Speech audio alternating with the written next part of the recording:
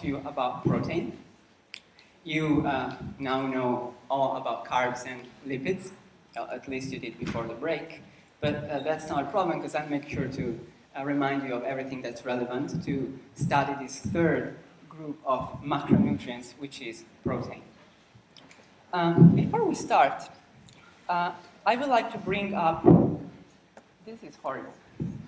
I would like to bring up three uh, misconceptions that are quite common uh, about protein and that I'm sure that the not so uh, nutritionally educated family here, the, the fat family on the slide, would probably share. Um, the first one that protein is the good stuff. Uh, a lot of people who do not have a lot of knowledge of, of nutrition have this concept on the back of their mind that protein is somehow what you really should be looking for in food when you eat, like the stuff you need to grow strong and maintain your tissues. And, and that is, of course, true, but now, of course, you know better. You know that carbs and fats uh, are equally as important. They are important energetic molecules. We need them also for structural functions and also for regulatory functions. The essential fatty acids, we cannot survive without them. So all three the macronutrients are vital, are very important for us, not only protein. The other one is that protein is animal, meaning animal food is the best somehow source of protein in our diet. And again, this is not uh, completely true because plants are also very good sources of protein, which is the reason why the lean family in our previous slide was able to perfectly thrive on their vegan diet. And then the last one is protein makes muscle. Uh, well, protein does not. Exercise makes muscle.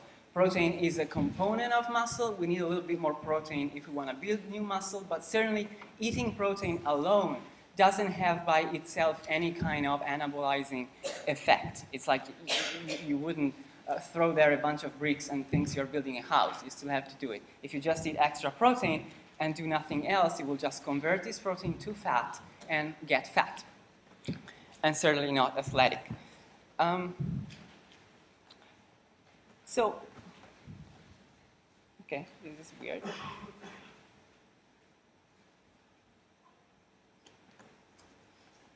Well, let's look at the top one. Proteins are the main structural material in our body. 62% of our body weight is water, thereby making water the most important structural material in our bodies, what really keeps us in shape.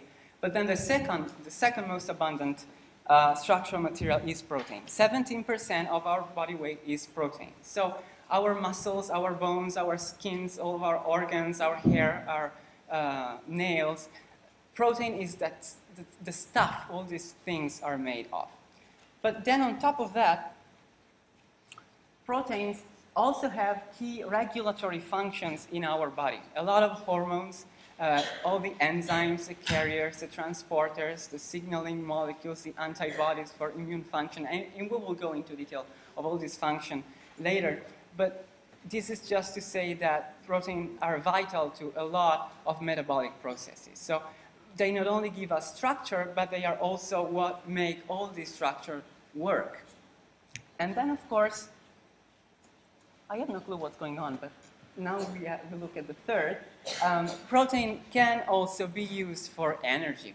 So sure enough, they provide 4 kilocalories per gram, so just about like carbs, if you remember uh, and actually protein will eventually give you a little bit less. But uh, they can be used for energy, although using protein for energy is kind of a waste. Our body doesn't really like to use protein for energy um, because they are normally used for other more important structural and regulatory functions. Yes, we know that. Now, what a protein is, is a chain of amino acids that are linked together by peptide bonds. So a protein, you can imagine it as a linear chain of these single units, these building blocks that are the amino acids that are linked together by this type of bond that I will show you later. And so they will form this linear sort of necklace of uh, amino acid that will then fold into the three-dimensional space to acquire its characteristic form, its characteristic shape, that is what most of the time will, give protein its biological functions. But if any time uh, we, we, we take a protein and unfold it, we will end up with a linear chain of amino acids linked together one after the other. So amino acids are the building blocks of proteins, and our body needs to build thousands of different proteins for all its structural and regulatory functions. But all these thousands of different proteins are made with only 20 different amino acids. So the basic building blocks we need to build all the thousands of proteins that we may need to build is only the 20 amino acids. And by combining them in different combinations or in different numbers, because a protein can be made of three amino acids or can be made of thousands of amino acids in sequence. And then we can build all the proteins we need with these 20 uh, basic building blocks. So you can um, imagine that what we really need when we eat protein from food is not really the protein that we are after. The protein we eat from um, our plants, our animals, they will have their specific biological functions in the plants or the animal that they come from, but we don't care about the function. We only care about the pieces, so we care about the amino acids. So we will take that protein, as you can see here, we, we eat protein from foodstuff. These little circles will represent the amino acids. You see they are linked together to form this chain, which is the protein with, with its function. We don't care about the function. We just break it down into the single uh, amino acids that make that protein so that then we can take the amino acids and reassemble them together to form other proteins the proteins that we need with the functions we need that is not anymore related in any way to the original function of the protein we ate. We only are after the pieces so that we can build the protein we need. And now, um, here we represent the amino acids, that little circle. Uh, well, how an amino acid really look like is more of like this. You can uh, recognize that there is a central atom of carbon that, like any good central atom of carbon, will make four bonds. One is made with hydrogen here. Another is made with this carboxyl group, is an acid group, uh, carbon, double bond oxygen, bond oxygen, but hydrogen, that you're already familiar with this because it's the same uh, carboxyl group that you have at the terminal end of your fatty acids. Is what makes them acidic. But then we have a little surprise here. We have an amino group which is nitrogen, hydrogen, hydrogen. And if you think back to your uh, carbohydrates and lipids, there's no nitrogen in carbs and fats. So protein are our only, well, not our only, but our main source of nitrogen, which we need. So on top of uh, carbon and oxygen and hydrogen, amino acids also bring us uh, nitrogen. And then this R here is not really an element, it's just a shorthand for a side group that will vary and will determine the specific amino acid. So this bottom part here is the same for all our 20 different amino acids. And then what will change is this side group. So for example, uh, if the side group is just an atom of hydrogen, we will have made up the simplest amino acid, which is glycine. If instead of hydrogen we put there a, a methyl group, carbon, hydrogen, hydrogen, hydrogen, that's alanine and so on. You can build all the 20 different amino acids by changing that side group. So this is an amino acid, but then we said, all right, now we want to make a protein, and a protein is a chain of amino acids linked together, so now we need to bind them, and we do that with a peptide bond uh, that works like that. You can see here uh, there is uh, two amino acids. You will recognize the carboxyl uh, uh, group here, and then the amino group of the other. The peptide bonds will happen through elimination of a molecule of water. We take oxygen, hydrogen, hydrogen from these groups, so this is a condensation reaction.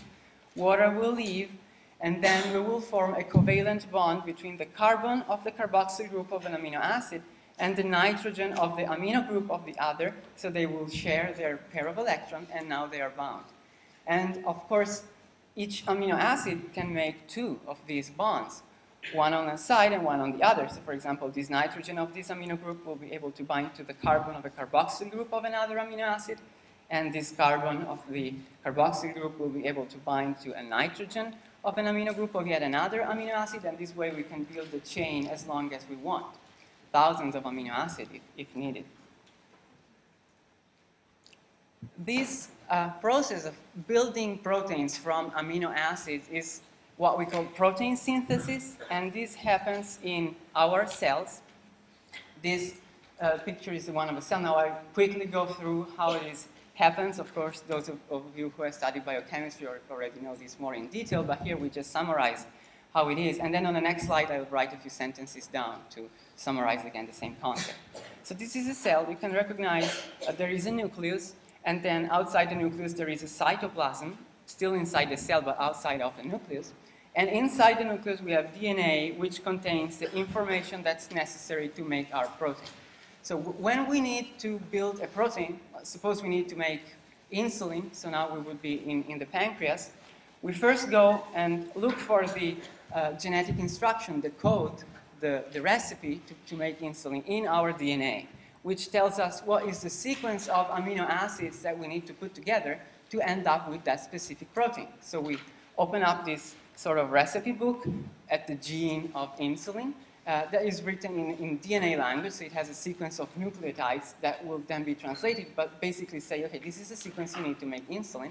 And because this is very precious molecules, it's a precious recipe book, it will not go out of the nucleus uh, to the cytoplasm for transcription. It will first be copied into another molecule, the messenger uh, RNA. So we will first make a copy of the instructions, it, it, in actually we do not only make one, we make many. Imagine you take this recipe book and you make many photocopies of it. And then this can safely go out uh, through these pores uh, in the nucleus into the cytoplasm to these other structures that you already know, the ribosomes. And if, if DNA is the recipe book, then the ribosomes are the cook that will take this recipe, will take the mRNA, read it, and start building the protein uh, following the instructions. But of course, this is not as easy because, as I said, the recipe for protein in mRNA is written in a different language. So it also needs to be translated into protein language. And what does that is this other molecule here, the transferred RNA, the tRNA, that will be able to tell, okay, this is the uh, nucleotide here. This means you need to take this amino acid. So um, we'll take the amino acid, we'll make a peptide bond with the other, the previous one on the chain, and you will end up with this chain, which again would be a sequence of amino acid. And then on to the next one. Here we have the instruction, three nucleotides. The, the tRNA will say, right, this means take this amino acid, we will take it, bind it to the previous one, and so on. We will, this chain of amino acid will grow. All right, and this is how, how we, we make protein. And because many ribosomes are, are working on the mRNA at the same time, this will go very fast. So this will basically say the same thing. Yeah, I'm sorry, it's a lot of stuff, but it's the same thing I just said. DNA in the nucleus contains the coded instructions to make our proteins. These instructions will be copied to uh, mRNA, and then this will be able to exit the nucleus and be transferred to the cytoplasm. Ribosomes in the cytoplasm will then read this mRNA and start building proteins by adding one amino acid at a time. The tRNA, transferred RNA, will provide the translation between the DNA language, which is the sequence of nucleotides, and protein language, which is the sequence of amino acids that our protein is made of. And so this is where the actual translation will happen.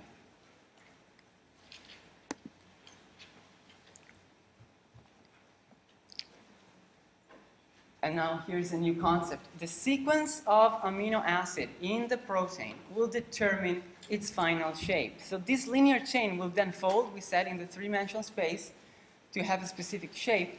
But the way it does that is not random.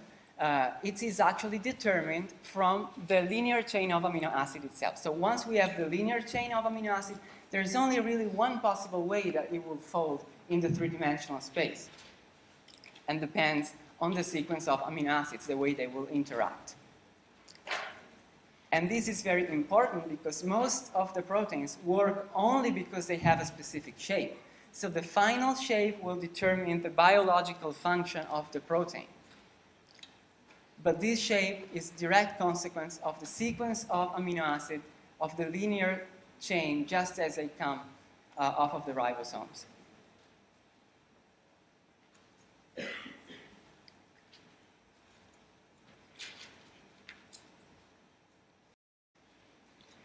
And to illustrate how this is important, in, in your book there is this example of sickle cell anemia. Uh, that is a genetic disease uh, whereby you have a little mistake in the recipe for hemoglobin. So in your DNA, the gene encoding for hemoglobin has a little mistake uh, that will result in a wrong amino acid in the chain of this protein. And hemoglobin, as you know, is an important protein for your red blood cells so that they can then efficiently carry oxygen. Um, this mistake will result in the fact that in position 6 of the chain of this protein, you will have valine instead of glutamate. So one amino acid instead of the other. But this is enough that the protein will then fold three-dimensionally in a completely different way, which is dysfunctional. And because the shape is what determines the function of a protein, this will result in a totally dysfunctional red blood cell itself. So you can see the whole structure of the red blood cell. This is not the protein, this is the whole red blood cell. Will have a completely weird shape that is not as efficient in carrying oxygen. And this depends on the wrong shape of hemoglobin, which depends on just one little amino acid put in place of the other. So you see how important it is that the, the, the, sequence of amino acids is the right one, and how this then determines the final shape of the protein, and how the final shape is important for the function of the protein itself.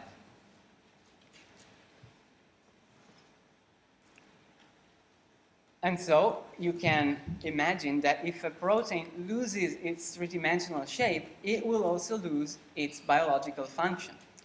Uh, the loss of three-dimensional structure of a protein is what we call protein denaturation.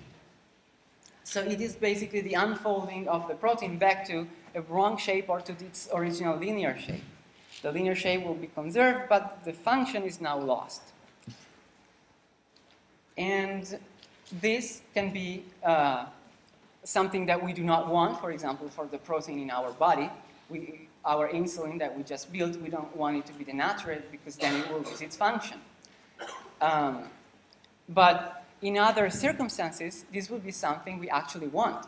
Think protein digestion. We said before, what we care about digestion is not preserving the function. We don't care about the function. We just want the pieces. And so the denaturation of the protein now will be something we want because it will just make it easier to unfold the protein and then start breaking it down to get the single amino acids that then we can use. So one of the goals of protein digestion will actually be protein denaturation. And there are um, many ways that you can accomplish protein denaturation. These are the most important. Heat is the most uh, important way you can uh, accomplish protein denaturation. So you, you have here your uh, uh egg with a transparent and liquid part. If you cook it, it will become white and solid, and this is irreversible. If you cool it down, it will not go back to transparent. Uh, and this is a result of denaturation of the uh, proteins of the egg white induced by heat. And in general, every time you cook uh, a food that contains protein, uh, you will, to some extent, have some protein denaturation, which is in general good because it will then make digestion of that food easier. Another way you can uh, do that is with enzymes, and again, think digestion. Uh, some enzymes will actually help unfolding the protein to accomplish more efficient digestion. We can denature a protein with high or low pH solution. Again, think digestion. In your stomach, there is a very acidic uh, environment that will totally uh, help protein denaturation.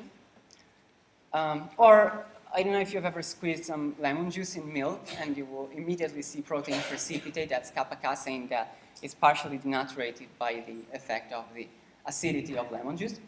And also agitation, which you also have to some extent in digestion. If you think of that shaking, that is basically to move things uh, on and to help lipid digestion, but it also to some extent will help unfold proteins. Or if you've ever tried to make mayonnaise, you know that you have to agitate your egg yolk so that you can then denature the protein and incorporate your oil. Because if you do not do that, it will just end up with a sort of disgusting mixture of uh, egg yolk and oil.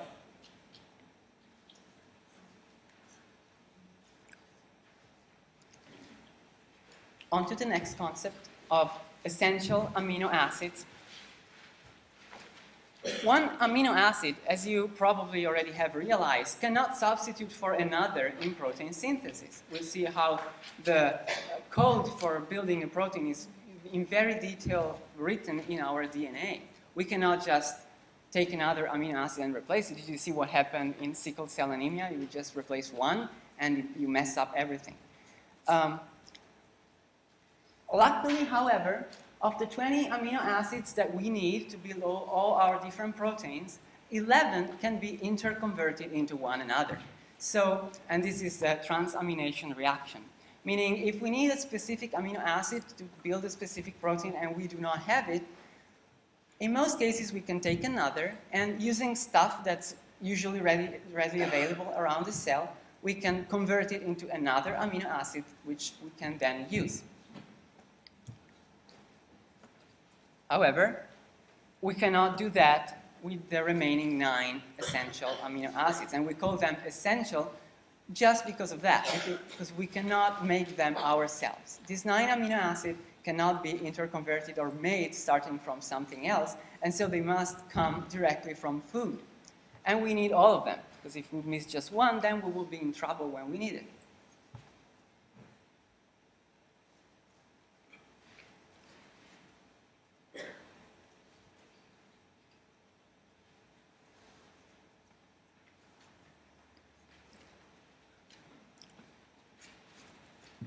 And this is a table you have in your book showing the different essential amino acids. I don't have to remember names, but just the concept that these nine essential amino acids are the ones that we cannot build ourselves, and the other 11 can be somehow interconverted into one another.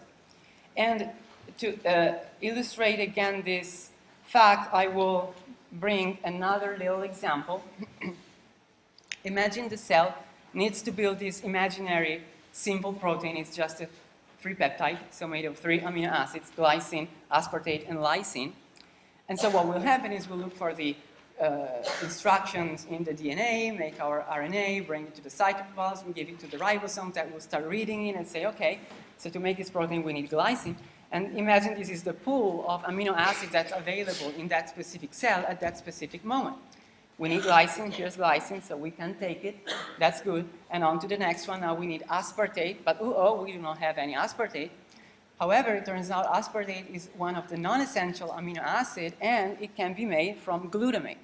So what we will do is we can take glutamate, make a transamination to aspartate, and now we're good to go. We can take aspartate, bring it next to the glycine, make a covalent bond, our peptide bond, and on to the next one. Now we need lysine, Again, there's no lysine available, but now we are in trouble because lysine is one of the nine essential amino acids. So we, there's no way we can make lysine starting from what we have. It doesn't matter. We can have thousands of other amino acids. We will be stuck and we will not be able to make the protein we need because lysine is essential. We don't have it. It doesn't matter how much protein we have unless we have that amino acid. We are stuck. We cannot go on with our protein synthesis, which of course is not good. Uh, so this brings us to the uh, so-called all or none principle, which says the depletion of just one essential amino acid prevents protein synthesis. We do not have lysine. There's no way we can make our protein using something else. And so either all essential amino acids are available or none can be used. It doesn't matter that we have a lot of the other ones. We, we want that one that we need. And then on top of that, uh, the remaining amino acid cannot even be stored for later use because our body doesn't really have any system to store uh, proteins or amino acids. So we cannot even say, all right, we don't have lysine, we will just save this and, uh, for later, and then once we have lysine, we bring them back and make our proteins. No, it doesn't happen we cannot store them, so if we have no use for them at that specific moment, we will have to throw them away or use them for something else, but certainly not for protein synthesis, which is the most important use we have for amino acid.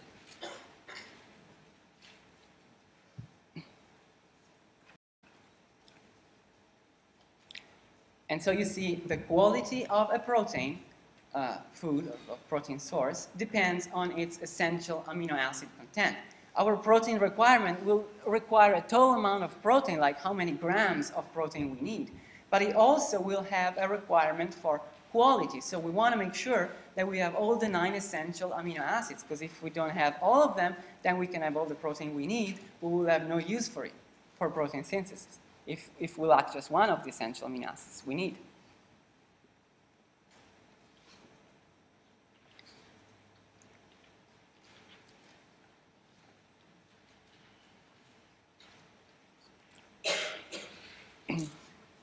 And so there is this example, uh, back to the beginning of the 19th century, this French scientist, Francois Magendie. Um, back then, they already had these early nutrition studies, and they knew that protein was very important. And actually, back then, they thought that protein was the, real, the only thing you really needed. But they also knew that protein sources, the, the richest protein sources, were very expensive. Uh, there was, however, this food, gelatin, that is an animal source of protein, a lot of protein, 86% of protein per dry weight. Uh, I, don't, I, don't, know if you're familiar on how gelatin is made. It's, it's, not the best thought. It's, it's made from collagen. So basically, we'll take bones and skins of animals, dairy, chicken, fish. You will boil this for a very, very long time, and you will end up with a sticky thing that you would, can then dry and get this powder that has a very nice property. Uh, if you heat it, it will form a very nice, tasteless, reversible gel with water. Reversible meaning you can heat it up, it will become liquid, you cool it down, it will become solid, and you can do this over and over again. And so the food industry really likes that because uh, to make, I suppose, um, re ready-to-eat food or sauces or meat products. And of course, if you put some sugar and colors and flavor, you, you make your Jell-O dessert. But for Francois Magendie, this was the solution to the hunger problem. He said, this is a rich source of protein, it's very cheap, uh, it must be very good. So he gave it to a group of dogs, expecting that they would thrive, and instead they would die against every reasonable expectation. That's what he said. Um, but today we know that collagen, yes, it is a very rich source of protein, but it is a very, very low quality protein because it lacks not one, but four of the essential amino acids tryptophan, isoleucine, threonine, methionine. So it doesn't matter that you have a lot of protein from gelatin it's protein that you cannot use because you will lack four of the important essential amino acids. So uh, uh, high protein, low quality. This is a typical example to illustrate uh, how protein quality is as important as the quantity. And then another little concept, the one of conditionally essential amino acid. These are amino acids that are not strictly essential, meaning we can build them ourselves, but we can only build them starting from essential amino acid that may be lacking. Uh, maybe we don't have enough, maybe we're using a lot. So it that then become lacking as well. Take tyrosine, it is conditionally essential because we can make tyrosine from phenylalanine, but phenylalanine is essential, so if, if we lack phenylalanine, we will lack tyrosine as well.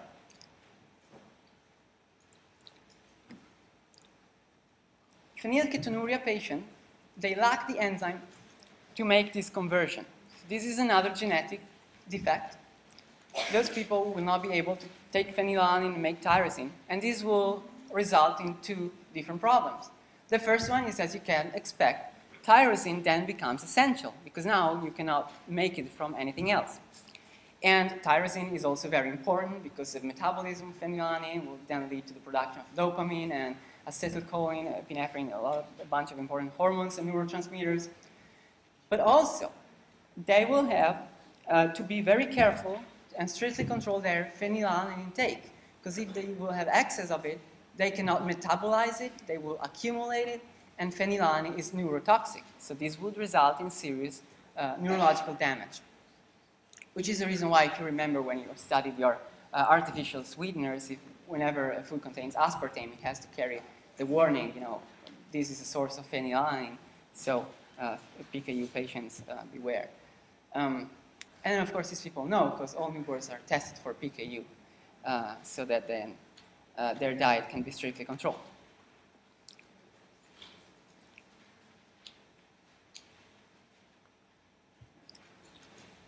only see uh, the sources of protein in our diet. Animal food has this uh,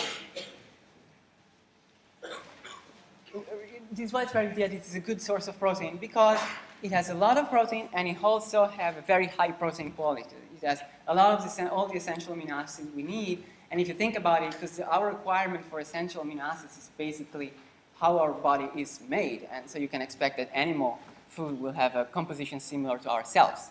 Yeah, ideally, human meat would be the highest protein quality you can expect, but of course it's not polite to eat your roommate for lunch. Then you turn to other uh, animals.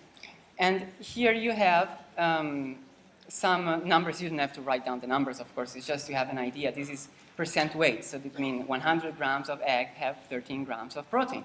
Quite a lot. Meat, 15 to 20 percent. Fish, about the same. Tuna has a little bit more.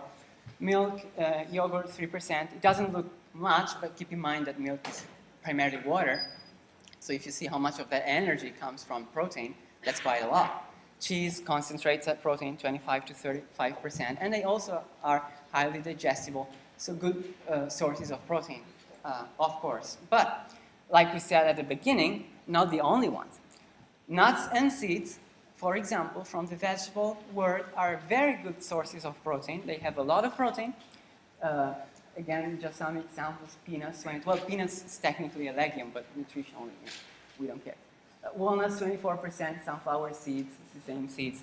Um, they are good sources of protein, and they also have a pretty good protein quality. Not as good as the animal food. It, they could use a touch of lysine uh, more, but overall it's good. However, these are very energy dense foods, so you can only eat so much which is the reason then why you will then turn to, for example, whole grain cereals. And they also, if they are whole, have uh, quite a lot of protein. Um, not as much, as you can see, as nuts and seeds, but of course you will eat more. So a serving of pasta is, of course, bigger than a serving of uh, sunflower seeds.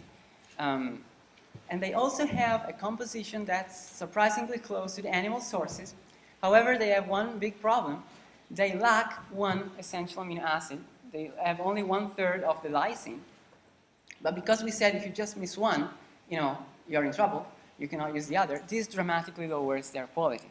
So cereals by themselves have very low protein, well, fairly low protein quality. There are the, the pseudo cereals here, quinoa, amaranth. They're not technically cereals, but they are nutritionally close. However, they have a little bit more of this uh, lysine. So they have a slightly better protein quality. And then we also have legumes. Lentils, chickpeas, soybeans, 36%, that ends up being even more than meat. But they also have a, a low protein quality because now they miss the uh, sulfur-containing essential amino acids, while methionine is essential. Cysteine is another of those conditionally essential. But this also is enough to lower their protein quality uh, because of this lack of this essential amino acid. And soy and soy product, again, they have much higher uh, sulfur-related amino acid content, so they have a slightly higher protein quality. We then have fruits and vegetables. They have uh, good protein quality, uh, but they have very low protein amount. So it's fruit is very, very low, Vegetable is slightly higher, but, higher, but still less than 3%. So it certainly contributes to your uh, protein requirement, but you could not get all the protein you need from vegetables alone. You would need to eat tons. I definitely can go to the previous slide.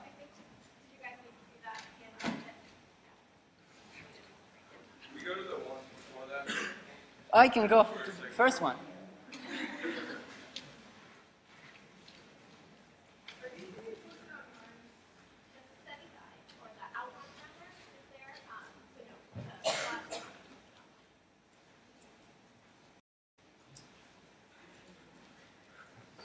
So far, so good?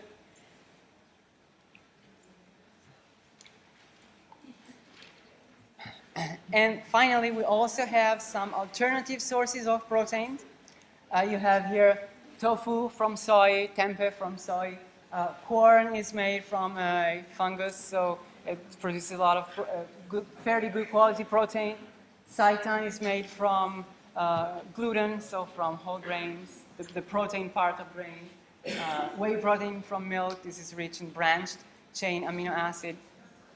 And then, yeah, remember that there are, in other parts of the world, people that will eat insects. So this is mealworms, they, have, they are animals, so a rich source of cheap protein. This is a picture from a Vietnamese market with bugs and larvae and insects.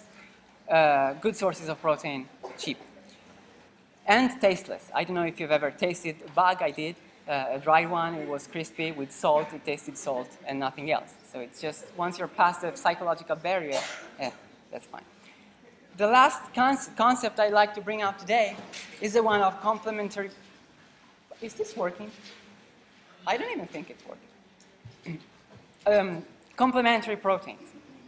So the protein quality of a single food. Now we said, all right, these are different food.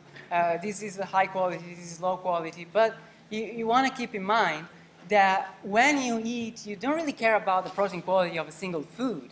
Uh, what you care is about the protein quality of the meal, so the combination of food that you eat. And so two or more lower quality protein sources, if you eat them at the same meal, not necessarily the same dish, but at the same meal, certainly not one at lunch or one at dinner, because remember, you cannot store amino acids for later use. But if you eat them together, they can then compensate for essential amino acid deficiencies and thereby result in high quality uh, protein meal. And I have another little example to illustrate. Oh, sorry, sorry, sorry.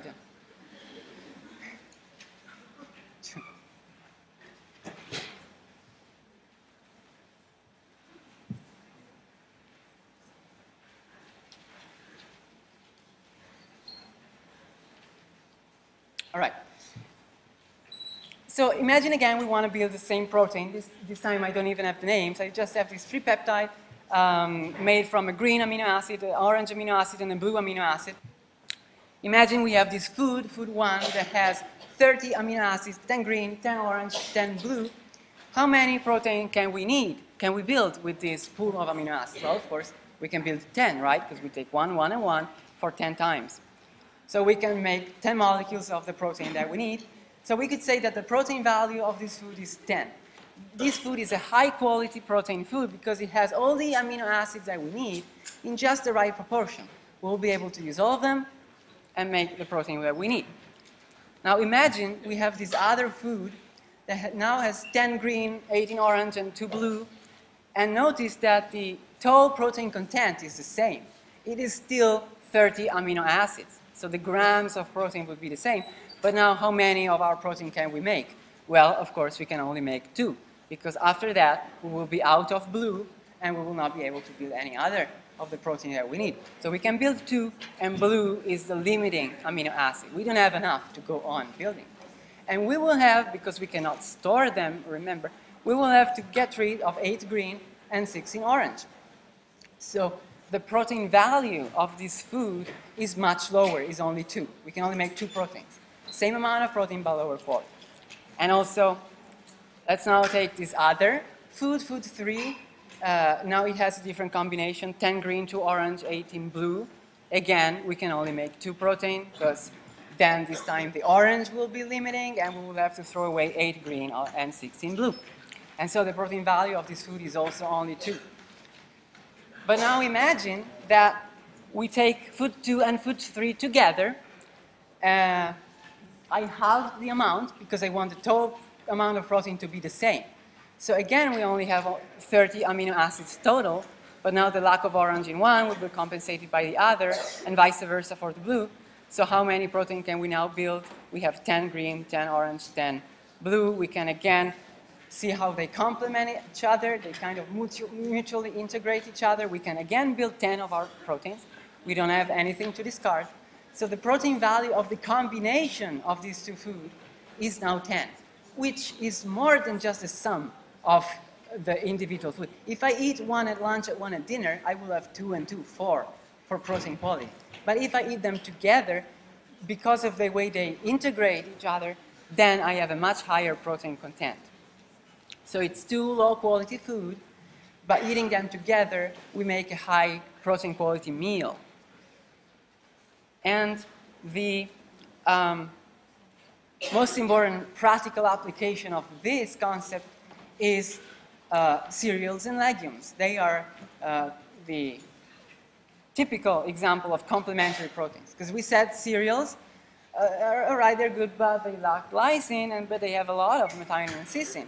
And then legumes, legumes then they, they have low methionine and cysteine, but then they have high lysine. If we eat them together, they complement each other and provide all the essential amino acids. So if you combine them in the right proportion, which is about two-thirds uh, cereals and one-third legumes, now you have the same protein quality uh, that you would have with animal protein. So if I eat my chickpeas hummus on a slice of whole grain bread, then I have complement. And finally, uh, I like to uh, uh, show you the way your government wants you to eat now. This is a new uh, plate, which is the evolution of your MyPyramid, which I think is like in your book, which is evolution of the food pyramid, which was, I think, more intuitive. Um, it is, for protein, as you can see, it's kind of weird. Aside from the fact that you have this dish, that to my Italian side, you know, I wouldn't want my pasta with sauce anywhere near my strawberries, but uh, the thing is protein is not a food. Protein is a nutrient. So you have dairy here, which I assume to be milk, since it appears to be in a glass. But if it is cheese, then it would have to go here. You know, it, it would be a protein source. You, want, you don't want to eat meal and cheese together. And what about grains? Grains are also, uh, and now it's late, sources of protein. Thank you. So I can say goodbye and everything can, everybody can hear me. So you see, yeah, it's kind of weird. I think that unless you read the explanation, most people would infer that this is animal uh, protein. And then grain, what did it cost to put a whole, whole grain? Because it changes everything. If it's refined, it's just sugar. You know, it's starch, but your enzyme will degrade it so fast that it's just as if you were eating sugar straight from the sugar bowl. But okay, so this is it. At least it gives you the message that this is the amount of protein you need in your food. And thank you for your attention. I'll see you on Wednesday. You can hear me from back there. Yeah, I, I think the, the oxygen sound